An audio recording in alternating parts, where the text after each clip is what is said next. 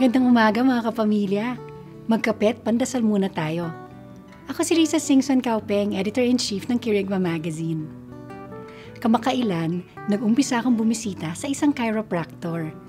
Natutunan ko sa kanya na maraming mga karamdaman ang nagsisimula sa pagkapuluktot ng ating gulugod or spinal column. Sa 33 na vertebra natin, ang unang tinutuunan ng pansin ng chiropractor ay ang pinakauna at pinakamataas na tinatawag na atlas. Mahahanap ito sa ilalim ng ating bungo.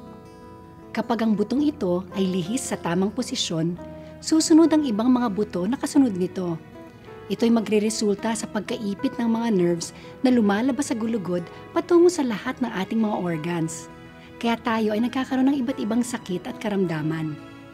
Naisip ko, ganyan din ang ating buhay. Kung hindi nakasentro ang ating buhay kay Jesus, madali tayong malihis ng landas. Ang mali ay maaaring magmukhang tama kapag tayo nagigipit. Ang mga problema ay madaling magmukhang malaki at nakakadaig. Ang daling malimutan na ang Diyos natin ay dakila at siya ang Diyos ng imposible.